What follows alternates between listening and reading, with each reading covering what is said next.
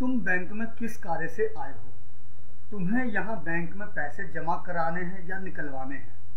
कुछ इस तरह के सवाल सोमवार को पुलिस टीम नगर के गांधी मैदान स्थित भारतीय स्टेट बैंक के शाखा कार्यालय पहुँचे।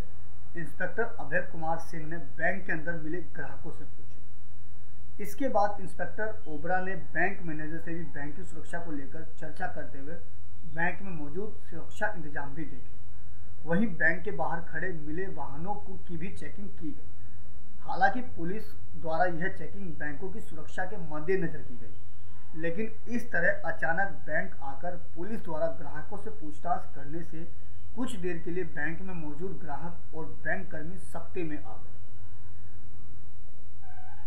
दरअसल सुरक्षा व्यवस्था के मद्देनजर पुलिस कप्तान के द्वारा सभी थाना प्रभारियों को अपने अपने क्षेत्र में मौजूद बड़ी बैंकों के शाखा कार्यालयों की चेकिंग करते हुए वहाँ मौजूद सुरक्षा इंतजामों को देखने के निर्देश दिए हैं, ताकि बैंकों में चोरी और लूट जैसी घटनाएँ ना हो सके। इसी क्रम में इंस्पेक्टर अभय कुमार सिंह ने सोमवार की सुबह पुलिस टीम को साथ लेकर पहले तो भारतीय स्टेट बैंक में पहुंचकर सुरक्षा इंतज़ाम देखे और इस दौरान इंस्पेक्टर अभय कुमार सिंह ने शाखा प्रबंधक से सुरक्षा इंतजामों को लेकर न सिर्फ़ चर्चा की बल्कि बैंक में मौजूद सीसीटीवी कैमरे, अलार्म, सुरक्षा गार्ड की तैनाती आदि के संबंध में भी जानकारी प्राप्त की। इसके साथ ही बैंक में कोई संदिग्ध दिखने पर इसकी सूचना तुरंत सीयूजी नंबर पर दिए जाने की बात भी की।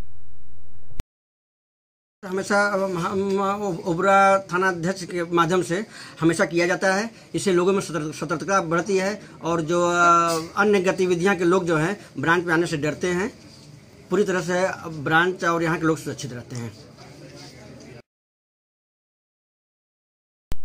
इस दौरान स्टेट बैंक के शाखा प्रबंधक एसपी वर्मा ने सुरक्षा के सभी मानकों को पूरा कर उपभोक्ताओं व कर्मचारियों के सुविधा का ध्यान रखते हुए कार्य किए जाने की बात कही।